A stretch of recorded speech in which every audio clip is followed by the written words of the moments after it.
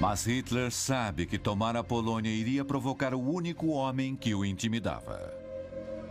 Um tirano cujas crueldades se equiparavam às suas próprias.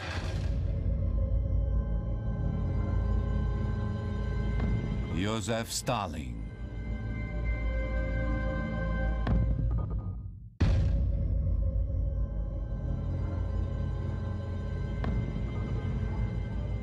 Joseph Stalin é um dos mais violentos líderes que o mundo conheceu.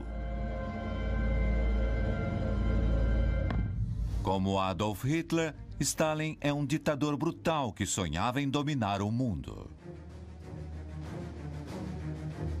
Ambos eram fãs ostensivos das artes, que governavam seus países com ordem e eficiência implacáveis. Enquanto isso, Stalin, em segredo, faz contatos com Inglaterra e a França, atento à agressão de Hitler contra a Polônia, um país perto demais da grande mãe Rússia para ser confrontado.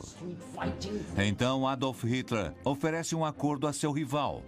Promete evitar a guerra entre as duas enormes potências e oferece dividir a Polônia entre os dois. A oferta de Stalin para ajudar os aliados a conterem Hitler foi recusada. Assim, ele aceita a única outra oferta na mesa: aquela de Hitler.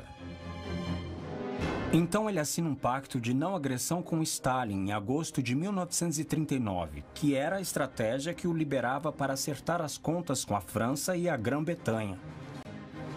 O pacto entre os dois ditadores chocou o mundo. O pacto entre os dois ditadores chocou o mundo.